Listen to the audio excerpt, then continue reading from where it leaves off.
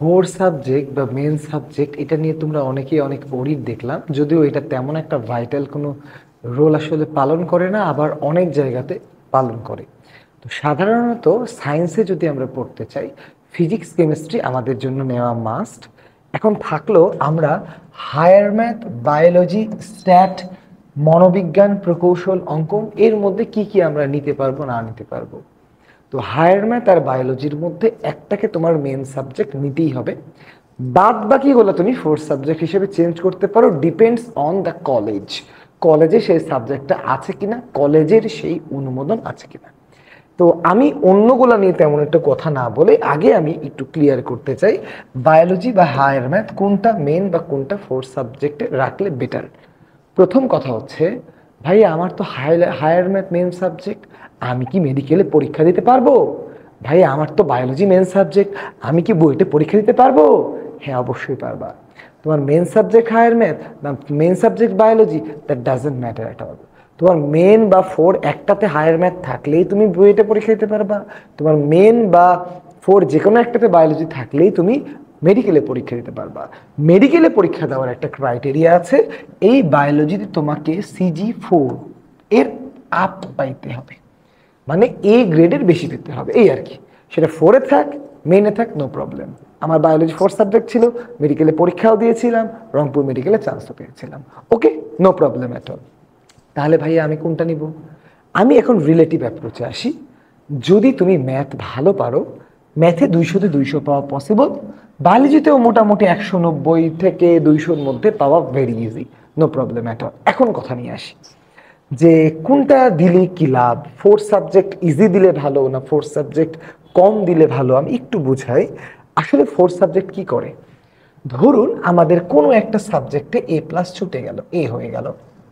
মনে করেন আরও একটা সাবজেক্টে আমার এ হয়ে গেল।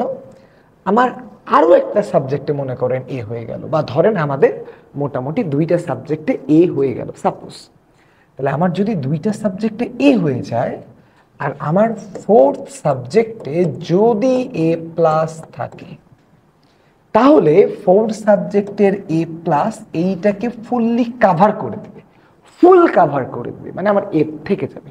এখন যদি আমার ফোর্থ সাবজেক্টের নাম্বারটা কম থাকে, তাহলে আমার প্রবলেমটা কি হবে? আমার ফোর্থ সাবজেক্টেও যদি এ এ এ মাইনাস থাকে।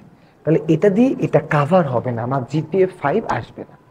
মানে যারা একটু দুর্বল ছাত্র বা ছাত্রী, তারা যদি ফোর সাবজেক্টে মানে যাদের বাংলা, ইংলিশ সবগুলোতে ছুটে যাওয়ার চান্স আছে, পড়াশোনায় একবারে করে না ফোর সাবজেক্টের রেজাল্ট ভালো হলে বেটার তো বায়োলজি হায়ার ম্যাথের মধ্যে যেটা তুমি ভালো পারো, বা এই দুটার একটাও পারো না দেন মনোবিজ্ঞান নাও দেন এটাতে better I feel better okay আমার বেটার মনে হয় ওকে এর পরের প্রশ্নে আসছি আমরা।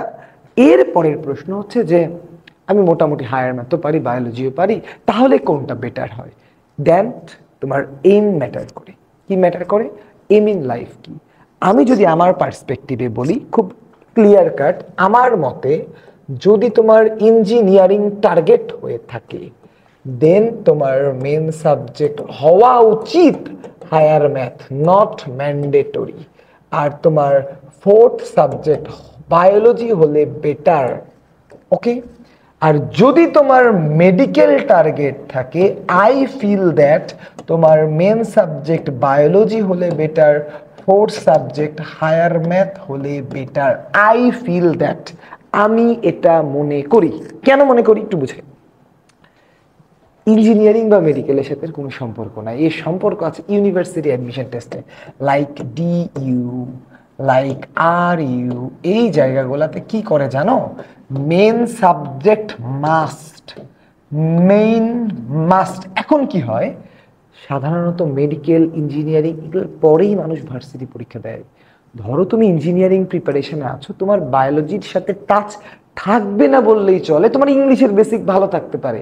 তুমি তখন কি করতে পারো? তুমি যখন ঢাকা ভার্সিটির পরীক্ষা দিবা, তখন তুমি ঢাকা ভার্সিটিতে ফিজিক্স দেখাইলা কেমিস্ট্রি দেখাইলা হায়ার ম্যাথ দেখাইলা এবং ইংলিশ দাগাই ফেললা। তোমার কিন্তু বায়োলজি টাচ করা লাগল না, তোমার পজিশন ভালো চলে আসলো, যদিও কিছু সাবজেক্ট তুমি পাবা না বাট বেনিফিট আছে।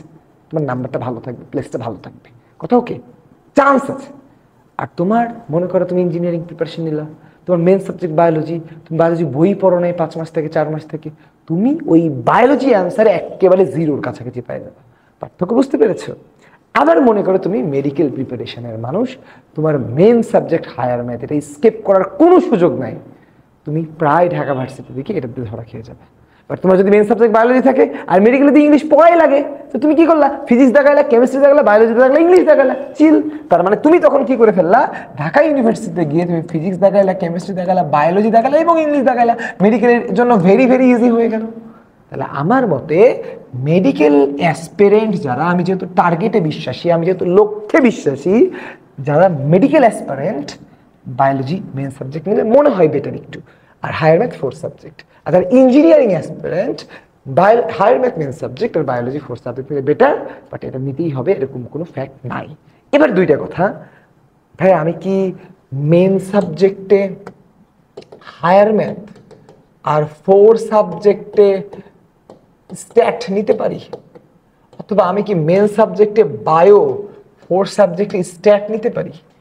একটা ইম্পর্টেন্ট সাজেশন দিই। আমার পক্ষ থেকে একটা ইম্পর্টেন্ট সাজেশন যদি উপরেরটা তুমি নাও, নিতে পারো।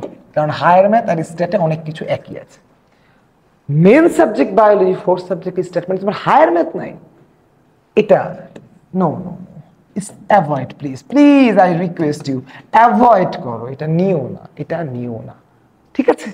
আমার মনে হয় আমি তোমাদের জনসাধারণের প্রশ্ন দিতে পেরেছি। তবে কারও যদি ফিজিক্স কেমিস্ট্রি ম্যাথ বায়োলজি চারটা সাবজেক্ট থাকে, বাংলাদেশের যে কোনো পরীক্ষা তুমি দিতে পারবা। কথা ওকে? ভালো থেকেও কোনো প্রশ্ন থাকলে ইউটিউবে কমেন্ট করো পেজে কমেন্ট করো, ফাঁকা থাকলে উত্তর দেওয়ার চেষ্টা করব।